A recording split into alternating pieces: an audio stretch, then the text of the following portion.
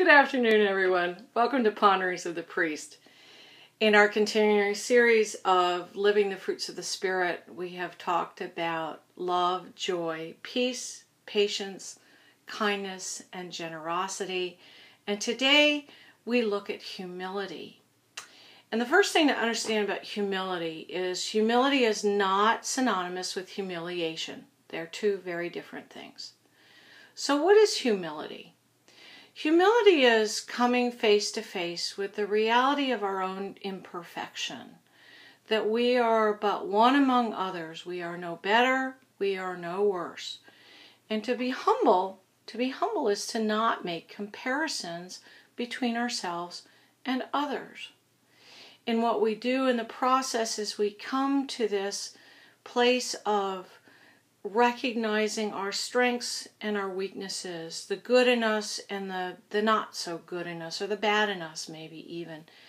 And this acceptance of our both andness, that we are both saint and sinner, that we are both good and bad, that we are wonderful and terrible, capable of amazing things and some pretty scary things, that the acceptance of this both andness implies an acceptance of our imperfection rather than to find it in some very specialness.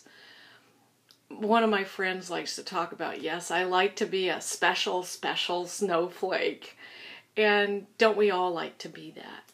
So, humility is the foundation and the keystone of this spirituality that we accept our both andness because there is a little bit of good in the worst of us and a little bit of bad in the best of us.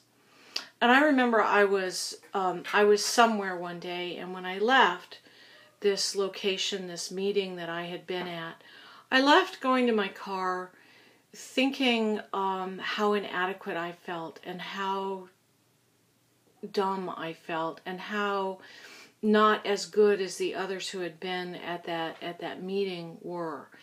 And as I sat in my car uh, pondering this, a thought came to me. And the thought was this, and it was actually very humbling, is this call it the Holy Spirit, this little voice said to me, You know, Brenda, there is no more humility in you thinking that you aren't as good as other people as there is in thinking that you're better than other people. That our life in humility is about one of balance. And I'd like to close with a quote regarding humility, which is from Ernest Kurtz and Katherine Ketcham.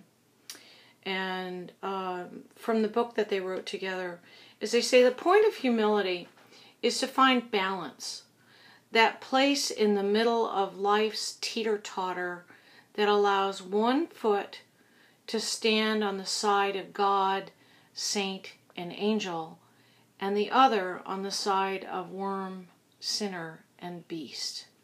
Because the truth is, we are both.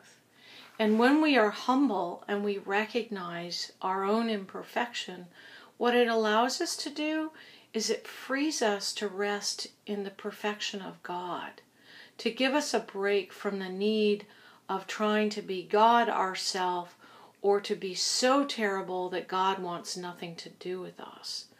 That when we recognize humbly the best and the worst in both of us, what we also recognize is our absolute need of God.